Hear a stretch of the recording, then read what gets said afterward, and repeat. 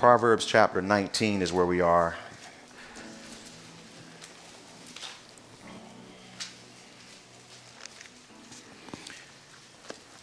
We made our way down through verse 11. And we're going to pick it up this morning in verse 12 and see. I ate up a lot of time, but we're going to see what the Lord gives us. So if you're with me, Proverbs chapter 19, verse 12, please say amen. amen.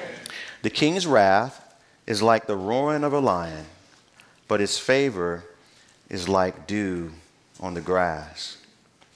A foolish son is the ruin of his father, and the contentions of a wife are a continual dripping.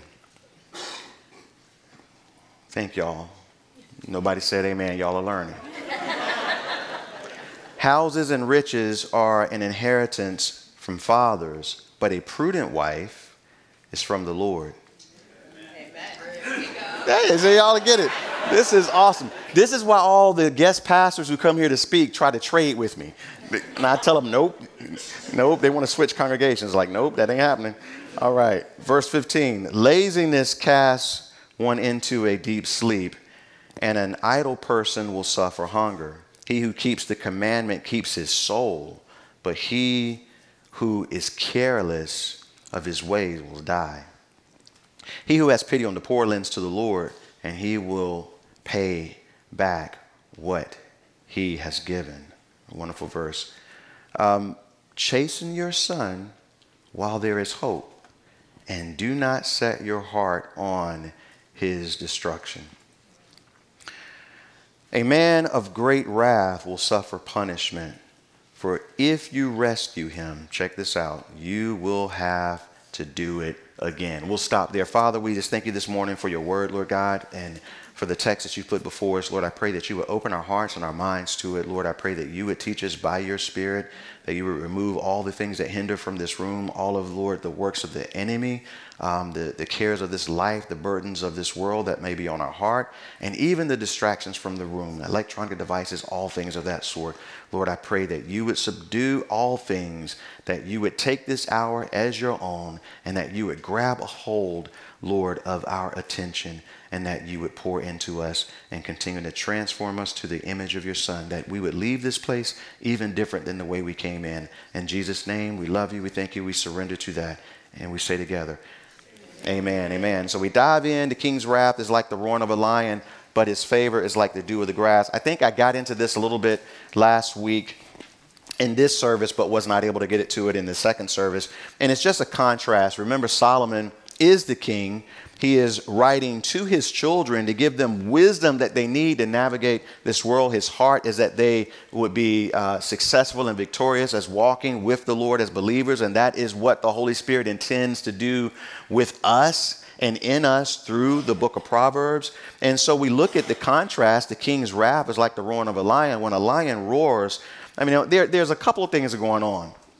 Of course, in the lion's mind, when he roars, he is warning his enemies, those who are in, in, in, encroaching on or uh, approaching on his territory, because lions are very territorial. He's letting them know this is my area. Okay, the lioness are mine, and any food here is mine. He's letting them know that, um, and so he's warning his um, his adversaries. And when they roar back, it's his way of testing their strength. And they can tell by the roar what kind of lion they're dealing with. And so in the natural, all of these things are happening. But the reality is, is when the lion roars, it strikes terror in all of the, the animals in the area. Um, and it lets them know that there is the presence of a lion, and it causes them to be on alert.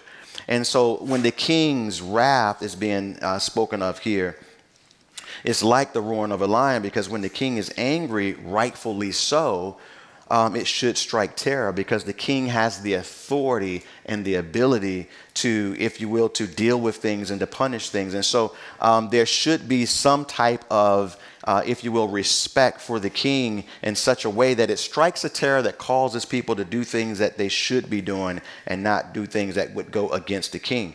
In contrast, his favor is like dew on the grass, which we spoke of last week. Dew on the grass in ancient times, uh, in agrarian society, dew on the grass meant refreshment, it meant flourishment, it meant uh, prosperity because the agriculture was going to do well.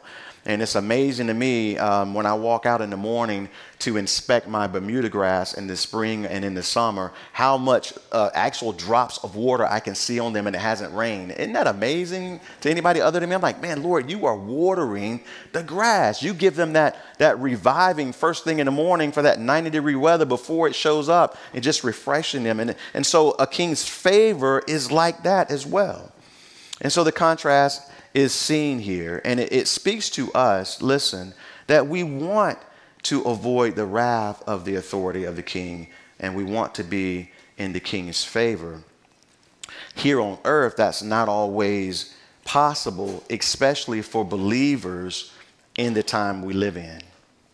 It's great when it can happen, but often now it seems as though we find ourselves not in the graces of the king because the policies that the kings and the prime ministers of the world are making are not in, in favor, if you will, of those who believe in the king of glory. So, therefore, we're going to find ourselves more and more in opposition to that. So, then, what I should be seeking more than anything is the favor of the King of glory, the Lord Jesus Christ to walk in his graces and his mercy and in his favor. Um, that I am not the subject of his wrath, because how many of you remember what the scripture says? We have not been appointed to wrath, but to obtain salvation. Amen? So the good news is I'm walking in his grace. I'm not the target of his wrath. And so, therefore, no matter what happens down here, my eternal destiny is already secure. And that's a good thing. And so when I look at the verse, I see that contrast above all others because that's one that I can always walk in and you can always walk in. Amen? And God is so good. Notice in verse 13, when I move, we've been picking up our pace the last few weeks. Verse uh, 13 says, A foolish son is the ruin of his father. And of course, we understand that. There's been many verses in the book of Proverbs before that talks about the foolish son bringing a disgrace um, being the heartache of his father and of the mother. And so we've seen that. And of course, every parent, um, when, they, when you hold that baby in your arms, you have such high hopes, don't we? Oh, we can just see the world and anything we can do to, to, to push them forward and make them successful, that's what we want to do. And so it hurts our heart when they go in the wrong direction. Remember, I always say that the place we want to point our children is towards the Lord Jesus Christ. Amen? Our, our goal is for them to come to know Him above all things because then their eternity is secure. And if they learn to walk with Him, then He leads their path. So we, we love that and we, that's what we desire. But in the natural, a foolish son is the ruin of his father.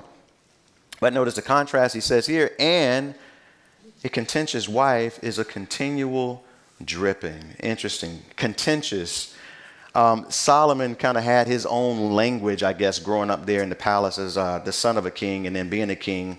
And, and it seems that sometimes he uses words that are kind of isolated within the book of Proverbs. Here's one this word contentions is only used in the book of Proverbs, the only place you find this word in the Old Testament, used nine times in the book of Proverbs. We have translated it seven times as contention, and then two times it's been translated as brawling. Um, brawling, I like. And so um, the thing is, to get a woman to the place of brawling, that takes some time. so, but the context, we want to stay in the context. The context here is specifically the contentions of a wife. Um, and if you take this verse out of context, we can have a lot of fun with it and we can create a male friendly message that's not balanced. The greater context of this would then fit within the book of Proverbs as a whole, as well as the whole Bible. And so, in the greater context, we can look at Proverbs 18:22 as well. Whereas, if you look back at Proverbs 18:22, it says, "He who finds a what, y'all? Life. Finds a what? Life. Good thing, and obtains favor from the Lord." So, the wife, by title and position, she's more honorable, more desirable and more pleasing than a woman in general or even than a girlfriend. Say amen, husbands. Yeah, she's something different altogether. So the Bible calls the wife, check it out, a good thing, and she comes with benefits. She comes with everything that is needed, guys. Y'all hang with me for a moment. This is what the Bible says about a wife. You know, guys, maybe you go pick up a, a, a new, a new chainsaw. And I like, I like things that have everything I need in it when I get it. So maybe you go get a craftsman, you get your craftsman, you get it home, and you take it out the box. You find with that craftsman chainsaw that you've got to put the bar on and get it set. You've got to get the chain on and set just right. Um, then you've got to you've got to get your oil in, you got to get your gas in. You might even have to sharpen the chain, but then you realize you don't have the tool to sharpen it, so you got to go back to the to the store. You got to get your sharpener. You've got to get um, the the, the uh, chain oil. You've got to get the gas. You've got to mix it right because you're fooling with a craftsman chainsaw. If you go buy a Stihl chainsaw, I go pick my Stihl chainsaw up, the bar's on it, the chain is set, the chain is sharp, the oil is in it, the gas is in it. We walk outside, crank it up at the store, and, and make sure it runs well. Then pick up an extra chain while I'm there. And so by the time I get home, as soon as I hop out the truck, I can grab the Stihl, crank it up, and I'm, I'm going right to work. That's kind of stuff I like getting. I can't stand to get a gift and then I can't use it because I got to go and get a bunch of extra stuff. Last year, my wife brought me a Oklahoma Joe wood smoker. I love that woman. She didn't just buy me. I'm thinking, she says, hey, I, need to use your truck because I want to go get your birthday gift. I'm like, okay, so I'm riding with her to Lowe's and I'm excited. And, and she tells me what it is. I'm thinking there's going to be this big box and we're going to load it up and I'm going to go home and have fun having to put it together and all this stuff. No, no, no, no, no. She paid to have them put it together for me. And she bought a cover for it so I, I, wouldn't just be out in the rain rusting. She did everything because a wife is a good thing. Amen. And so the context here is the continue the uh, contentious wife or the contentions of a wife are continual dripping. But I have to say, and I'm going to try to be balanced here, I have to say if your wife is contentious, You have a good thing, but that has not been used or treated according to maybe the manufacturer's specifications. Like trying to use your chainsaw to cut the grass or um, something like that, maybe. And so, if you are not experiencing the favor of the Lord in your marriage, you got to refer back to the manufacturer's instructions. What does he say do? One area, 1 Peter 3 7 Husbands likewise dwell with them according to understanding. Always a challenging part of it because, you know, a wife has to be understood, meaning that we have to be paying attention, getting to know, um, pursuing, um, paying attention to, learning. Um, man, there are guys, uh, I see guys with tools and they know how to tweak them and fix them and set them, and they got all these extra tools to take care of the one tool that they have. You know, you know how we are, guys. Likewise, with the wife, she is to be understood, she is to be pursued, she is to be uh, cherished and honored. So, likewise, uh, dwell with them according to understanding, but then giving honor to the wife as to the weaker vessel. Your wife may not be weak, but you treat her as the weaker vessel. I always like to look at it this way I love drinking out of mason jars. You put the ice in it, then you put the beverage in, and then you let it sit until the outside sweats and then it's perfect, and then you drink your water. Anybody know what I'm talking about? You know, but the wife is to be treated more like a crystal, crystal wine glass of some sort, something that my, my mother growing up would not let me get near because I would break it. They're really thin. Ladies, you know what crystal is? So treat the wife like the crystal, even if she's strong. Um, and he says here, and as being heirs together of the grace of life because both the husband and the wife are heirs together of the promises and the, and the wonderful things of God. That your prayers, notice at the end of the verse, may not be hindered. And that's where the scary part comes in, husbands. Um, and so, look, if you're not experiencing the favor of the Lord, maybe your prayers are being hindered because you got to go back and learn how to treat the wife. Because if you notice the verse again, look at the verse again. I'm going to move on in a minute. And the contentions of a wife are a continual dripping. Um, a continual dripping. It's kind of like um, that, that, that, leak, that leak in the roof that drives you crazy and you can't sleep and you can't even think because it's dripping. Anybody ever had that experience? And it's dripping, you can't sleep, you can't, you know, you put the bucket there and then you hear that. It's hitting the bucket, you know, and it's, it's just a constant drip and it's driving you crazy.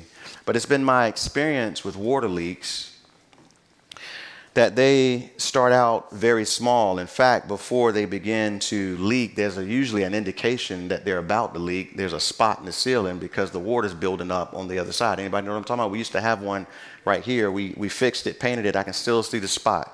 Drives me crazy. and then it begins to leak. And so what I found is that that leaking, that, that it builds over time if the problem is not dealt with. And I want to challenge you guys that if, if you if you look at the verse and, and you, your first indication is I know what that's like, that continual dripping, I have to say it probably has continued and increased because something wasn't taken care of way back when that could have been taken care of to avoid the continual dripping um, because the Bible says a wife is a good thing, and, and, and most wives don't start off dripping from the beginning. They don't drip on the honeymoon like that. You know, it's not like that, and it, it builds over time. And so it may be, husbands, as we read this verse and something jumps in your heart, that I would challenge you that maybe there's some things that you need to do at home that could, could literally take that dripping away. And the Lord would say to love her as Christ has loved the church, to deal with the things that are being brought before you. But, ladies, at the same time, you have to realize that the Bible is comparing your contention, your anger, your frustration, that some of it may be well warranted, but it's, it's comparing it to a continual dripping. It means your nagging, your constant reminders, your constant words are actually making um, are not making a difference, but making things worse. It doesn't fix anything when you try to be the Holy Spirit with many words constantly, all the time, day after day after day after day. He's not going to do anything about it. It's going to push you all further and further apart. In fact, we see this same word used a couple other times in the book of Proverbs. Proverbs 21 9 says, Better to dwell in a corner of a housetop than in a house shared with a contentious woman. Guys, don't say amen. Listen to your pastor. Just sit there and say nothing. Solomon said it's better to go live at the corner of the roof, in the rain, in the rain, than in the house with the contentious woman. That's what Solomon just said. But she wasn't contentious when you took her home from the church after the wedding. Okay? Her contention is, is the product of your leadership or lack thereof.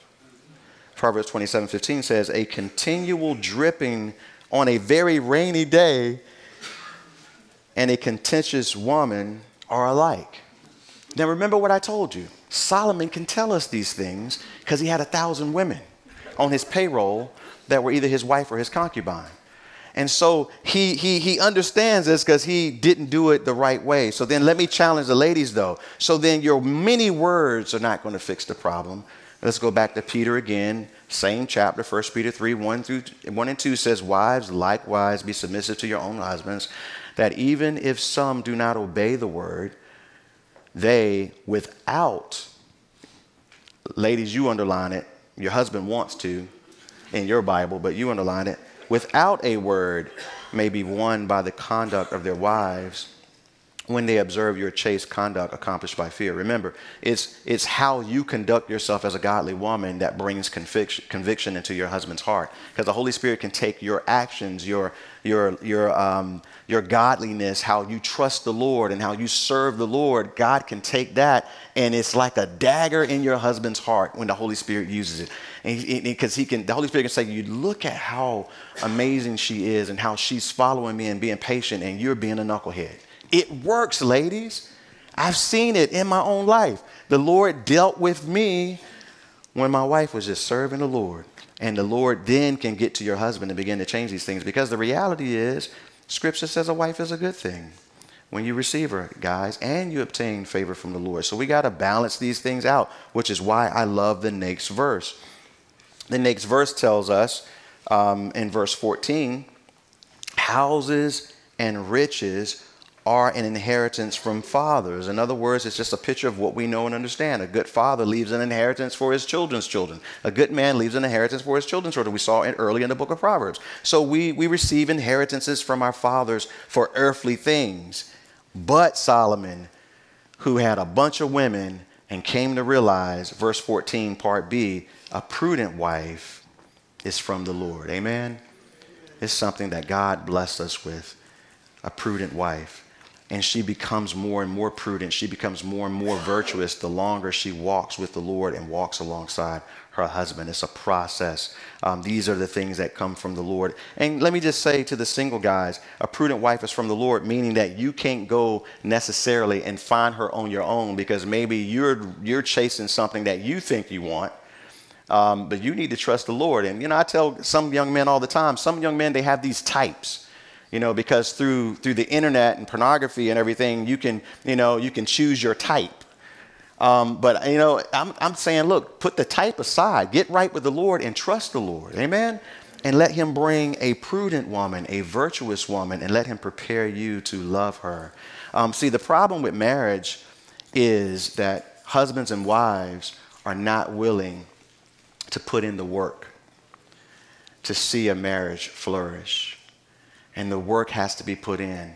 Instead of you constantly looking at your spouse and what they're not doing or what they're doing wrong, the Bible is saying, no, look at yourself and are you doing that which, ha- which has been required of you as a husband or as a wife? Are you doing the things that the scripture has commanded you to do? Focus on yourself, and then you'll see God begin to work in your marriage. You have to put the work in. I'll come back to the work in a little bit when we get further down. All right, verse 15. Y'all ready to move on from that? I thought I would get a heavier amen there. Laziness. And here we go. Solomon doesn't like the fool or the lazy person. Laziness casts one into a deep sleep, and an idle person will suffer hunger.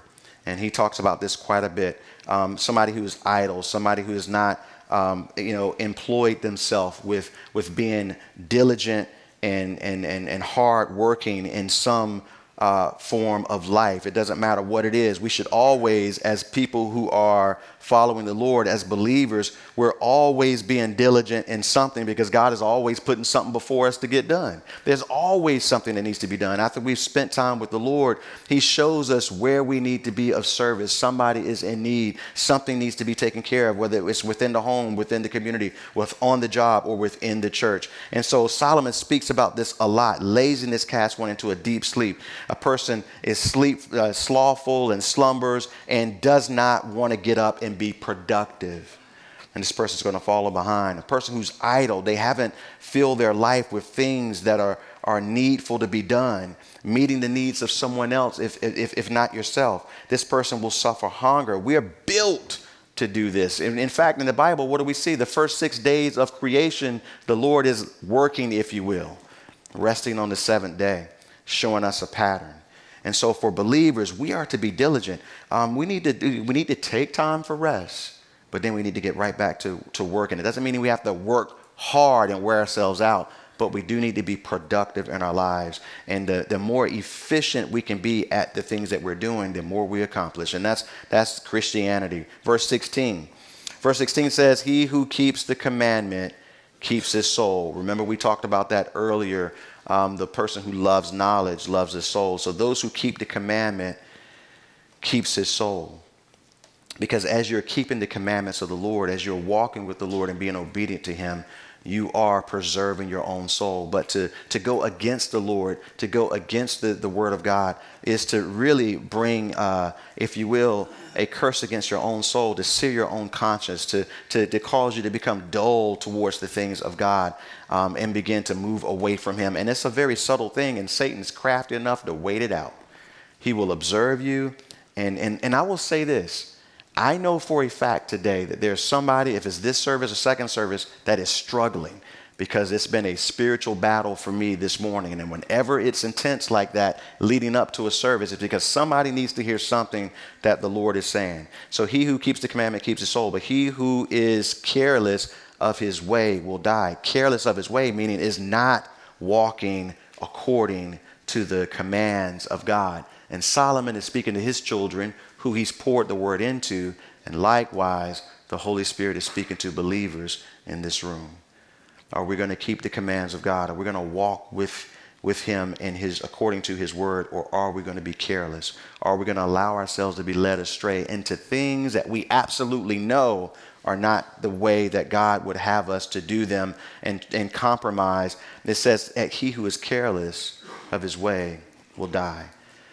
Verse 17 He who has pity on the, on the poor, we talked about this last week, lends to the Lord. I love the language. To have pity on the poor is to actually lend to the Lord. Guess what? God ain't gonna never be in debt to you. And that's why the next verse, part of the verse says, and he will pay back what he has given. And so it causes us to become balanced, as I shared with you last week, and, and how we view the poor. It's very easy for Christians to get high minded against those who are poor and try to evaluate why they're in the situation they're in. Have they not been diligent? Um, has it, is it a drug issue? Um, what's going on with this person? Why are they that way? And all of this kind of stuff. And try to justify not wanting to help. And remember, I've shared with you many times is that the Holy Spirit has moved through the church over the last 2,000 years to do way more work than any government or collection of governments have done towards those who are in need.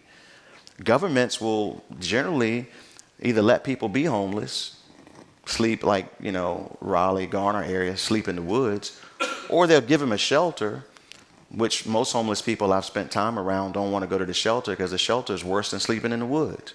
Because it's in the shelter that women get raped or children get raped or drugs find their way in. People steal from each other. There's abuse. People get beat up. It's amazing what happens in the governmental shelter. Okay, and so so we see that. Then a Christian organization will come along and start some type of outreach ministry that provides, like what we see, saw down in Georgia, a safer place. The church has has built orphanages, schools, hospitals uh, throughout the last 2,000 years. And so when we think about this, our heart has to always be, well, this person who is poor is made in the image of God.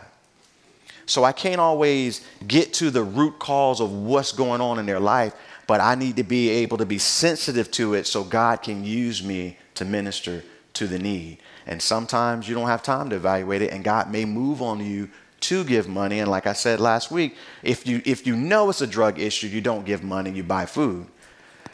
But there may be time when you have to give money, and I always say that you give it to them in the name of Jesus and you let them know where it's coming from.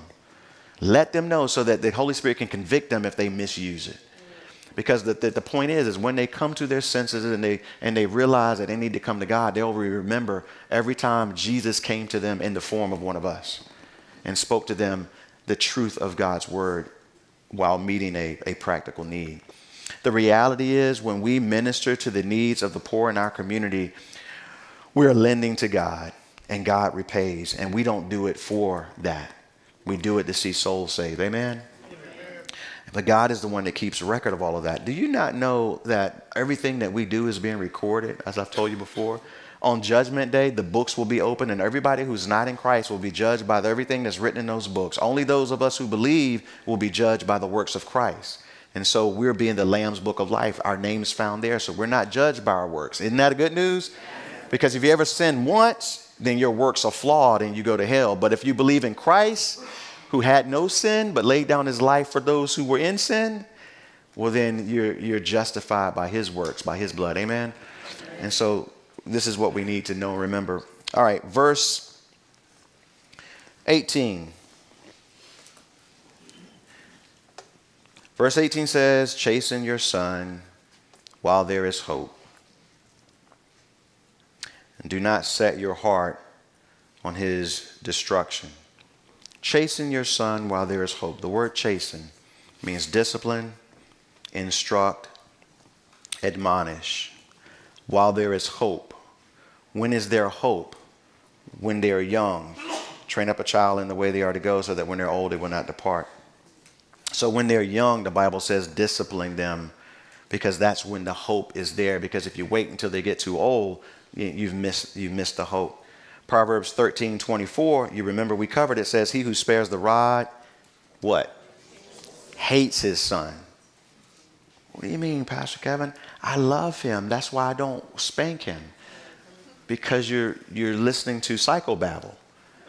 and being led by your emotions. So you actually think love is not spanking them. Now, I'm going to tell you the truth from a children's ministry perspective. When I did children's ministry, man, I, I told you before, I, I didn't like kids and didn't want to go to children's ministry. Then I fell in love with it, and they respected me because I was old school. I didn't know any other way to be. So when the boys cut up, I would drag them out of the room and put them on the floor of the hallway and make them do push-ups until their arms were like jello. And I was in there, go back in there and sit down and let's read, let's pray, let's talk about what this means, and then they wouldn't be disruptive, you know. And you know, I would do stuff like that, or if they would cut up, I would send them to the security guard to go sit with him until your parents come, because I'm not going to drag your parents out of service. They need the word. So I'm not going to put the name on the screen while you're in my class. Ain't no numbers going up on the screen. You're going to get disciplined in my classroom. I remember this little boy named Dustin. Dustin had the nerve to curse in my classroom. Boy, so I, I pulled him out. He and I had a moment. But, you know, I didn't have the right to spank them because they weren't mine, so I never did that. But we had a moment. And, and, and you know, and so, um, but he, that was the last straw. So, but I didn't call his parents. But when they came, I called him out and I made him, I made him tell them what he said, and he refused. So I told him. And he lied and said he didn't say it. That rascal had the nerve to lie. And I looked him in the eye, and I didn't let go. And when I looked up, his mom had a tear in her eye because she knew how rotten he was. Deep down, mom knew. And so dad was had pride. Dad didn't like how I was talking to his son. He was prideful, but mom knew what was going on. And so I told him, I said, look, this is what happened. I love him. He can come back to class. I want him here. But if you do that again, we're going to be right back here. Y'all need to go talk to him, you know. But I would deal with these things, you know, because it's important. So here it says, if it, in the reference verse 13, 24, he who spares the rod hates his son. And when you spare the rod, you make it difficult for everybody else that has to deal with your child. The reality is, do it while it's hope, while there's hope, because what's going to happen is when they get grown, they're going to get fired from the job, kicked out of school, arrested by the police because you spared the rod because you thought that was love. And scripture says you actually hate them. They're only on loan to you anyway. We're stewards. We don't even, we don't even, look, you know, they're not ours, they're his. We think we created them.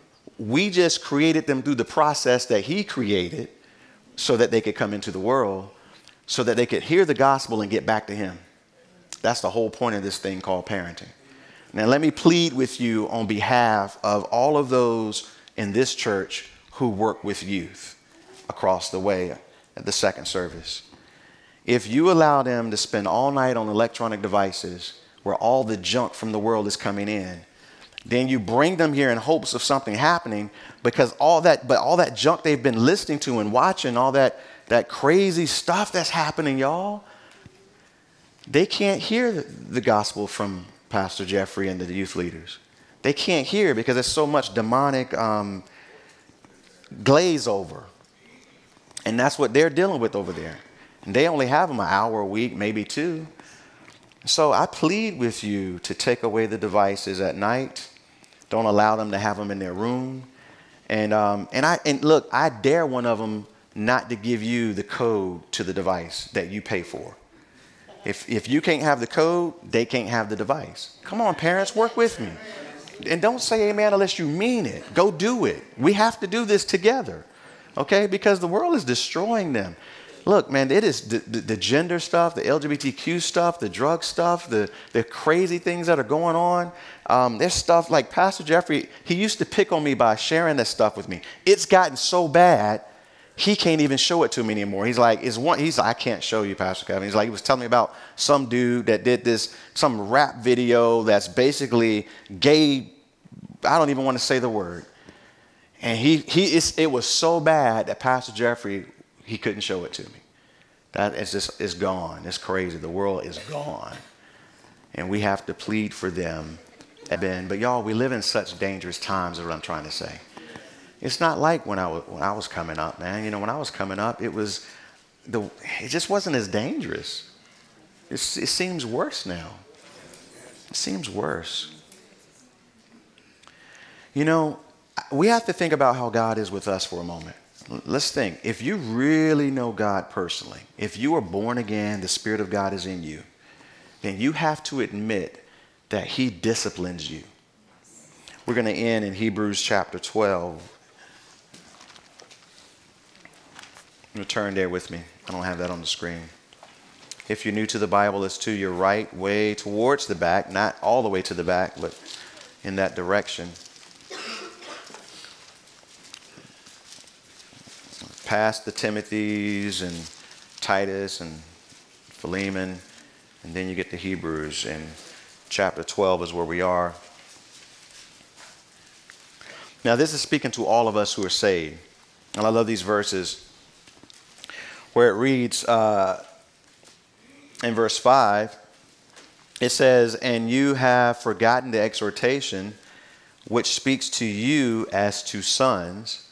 And he's quoting the Old Testament My son, do not despise the chastening of the Lord, nor be discouraged when you are rebuked by him.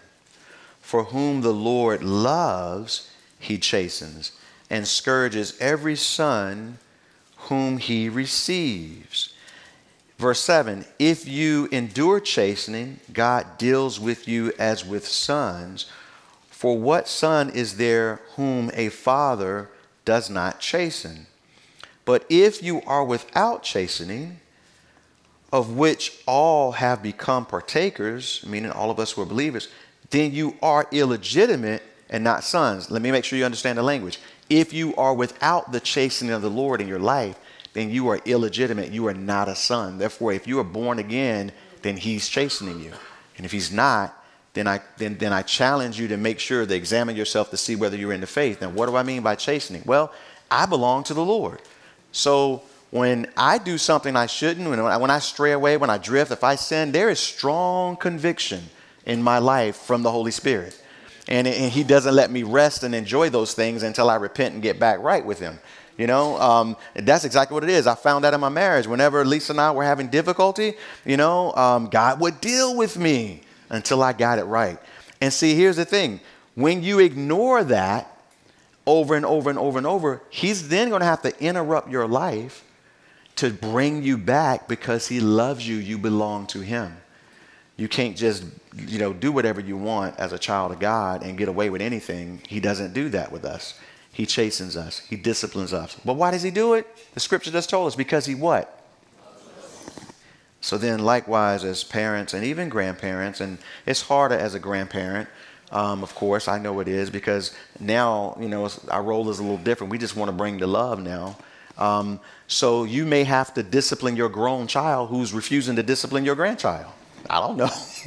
but we got to figure it out. The point is, y'all, let's pour into our children the love of God. And the love of God is saying, no, you can't do, you can't have, that's not appropriate, we can't have this.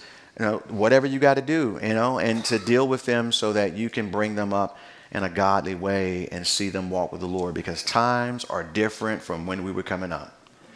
It's just different. All right, so that is where we are going to have to end because I'm over time and we're going to get more names on the screen if I keep going any longer. Um, so we'll stop there. No, no, one more verse. This is good. 19. I got. I can't leave us singing. Because it, it, go, it goes with 18. Listen, listen. A man of great wrath will suffer punishment. We know that. Um, uh, the wrath of man does not produce the righteousness of God. So there's going to be some punishment. But notice what it says next. And for if you rescue him, that this is good for parents and just those of us who fellowship with one another. If you rescue him, you will have to do it again. Parent, if you bail your child out when they're wrong, you might as well prepare to keep doing it. Because because cause you've got to be a part of God dealing with the heart issue. This is where the chastening comes in. And this is the same, you, it could be your friend. If, you're, if you bail your friend out who has a problem and you don't deal with the heart of the issue, then you might as well get prepared to keep bailing them out and keep bailing them out and keep bailing them out. You know? I imagine there's probably somebody in here who had to sit in jail because a parent refused to come get them who would to it who's thankful that their parent did that. See, I got an amen in the back. Amen. Brother back there. Because look, he sat there in jail and, and he had a chance to reflect on things, you know. Uh, so they, they need that. But you want to prevent them from getting there. So chasing them while they're little. Discipline, stay on top of things. Parents, just like being uh, a, a spouse, you have to do the hard work now. You have to take the device away when it's bedtime. They will argue with you. It's okay. They will be upset with you. It's okay. I'm not afraid of my child being angry with me. So what? It doesn't say the wrath of a child, you know, was anything to be worried about. The wrath of the king, that's different. so be mad. You know, parents, see, here's the problem. I got to end here. Biblically, it's time for God's parents to take back the biblical authority that was given to them that Satan has led the world to try to challenge you and tell you you don't have. And so the world is telling you you don't have the right or the authority to dictate to your children certain things. They're even telling you that you don't have the right to tell your child what they were born to be gender wise. And that, that you don't have to be involved in the decisions that they're making of their own body, even younger than 12 years old. That's what the world is saying to parents.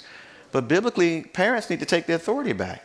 God gave children to parents to bring them up the way He desired, so that in the young years, when they're not able to function on their own and think for themselves, and hormones are going crazy, and they're not mature, so He doesn't desire for them to make decisions about their life yet, He gave that authority to the parents so that they could do it until the children get old and then they can walk with the Lord. That's the biblical authority of the parent. Amen. And so um, we need to understand that because, hey, praise God, we get to go into the school system this year and, and do all of this outreach ministry. But let's make sure that we are doing it at home and within our own church as well. And that's for all of us because I'm still the parent of a teenager too. And we got work to do. Amen? Amen? Let's pray. Father, thank you today, Lord God, for allowing us, Lord, to just hear your word. But Lord, I pray that you would guide us through how to perform how to do these things that you say. And Lord, give us strength, give us favor. Pour your spirit out upon us, Lord God, as we prepare for this week ahead. Lord, to keep us, to strengthen us, to give us discernment in every area. Lord, pour into the parents uh, and the grandparents, I pray this week, Lord God, all that is needful. We love you. We thank you in Jesus' name. Amen. Let's stand and sing.